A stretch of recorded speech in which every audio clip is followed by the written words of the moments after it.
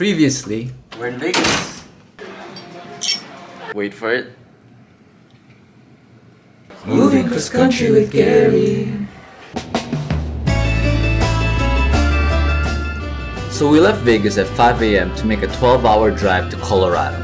This is when I decided to record all the state signs we passed because they were pretty much the only thing interesting on the road. Arizona.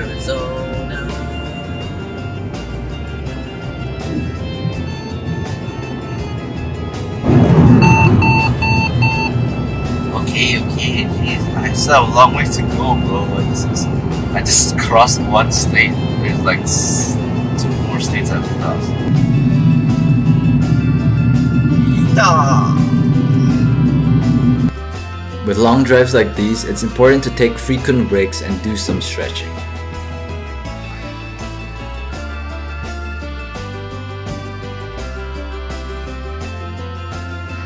Also, is that not the most Utah thing you've ever seen?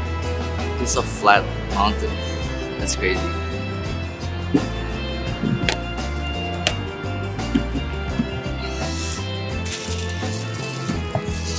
Oh my god.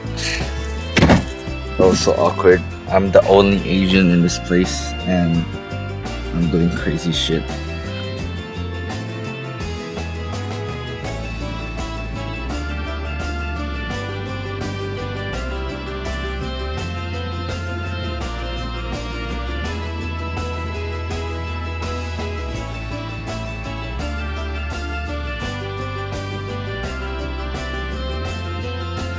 Honestly, even though it was a really long drive, the views were pretty spectacular, which I definitely took for granted.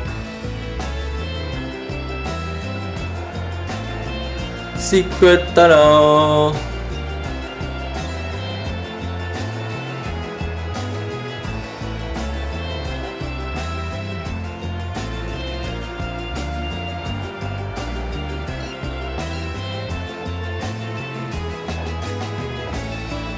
We even stopped by this canyon.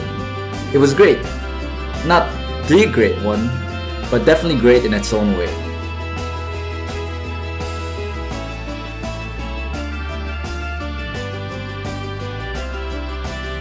And after 13 hours of driving, we finally reached Colorado.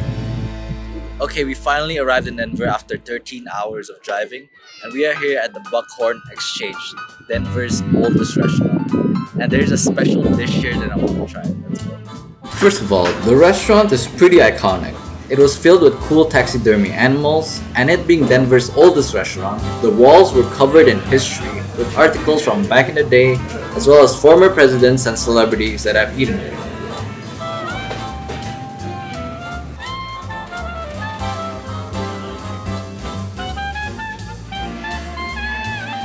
Their menus also come in this cute newspaper format. This is the main reason I came to this restaurant. They are Rocky Mountain oysters, aka bull testicles.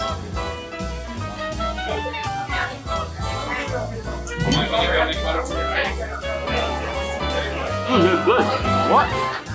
It's like, it's like, like a popcorn chicken shiitake mushroom type vibe, right?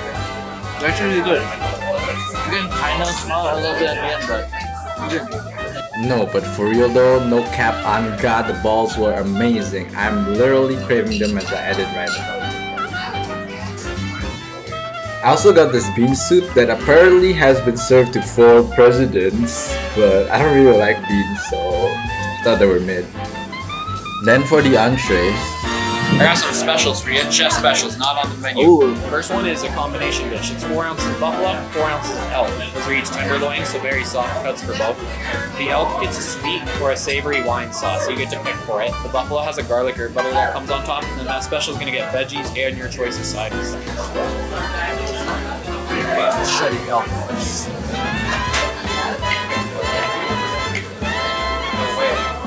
Ooh, it smells different.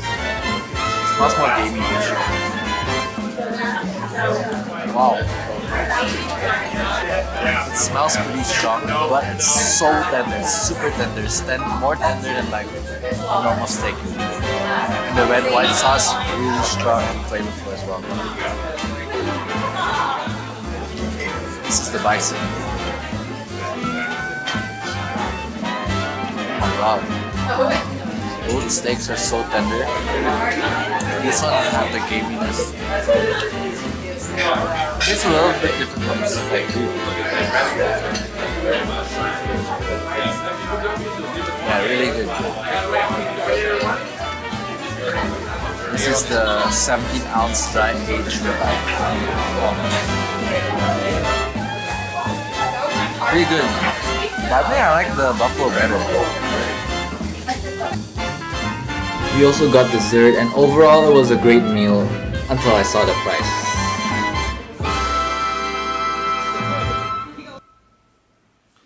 Good morning from Denver. We were extremely tired last night and we just crashed at a friend's place. Shout out Amber, this is her place.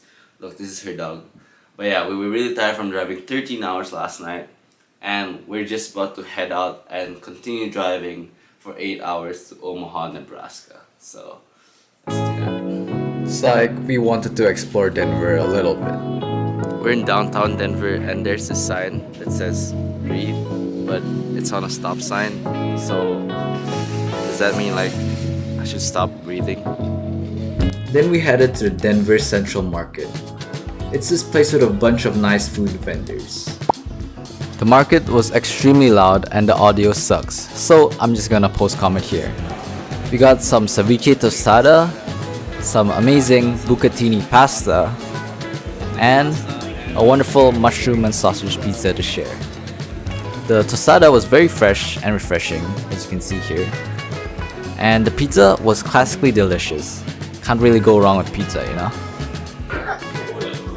Dude, everyone here is so fashionable and they have tattoos and some of them are wearing soccer jerseys. It's kind of like my speed, you know? But we're not moving here, so. And in the back, there was a really cool vintage market and I got myself a piece. I think it represents me very well. It says But yeah, we are about to make the 8 hour drive to Omaha, Nebraska. So let's do that.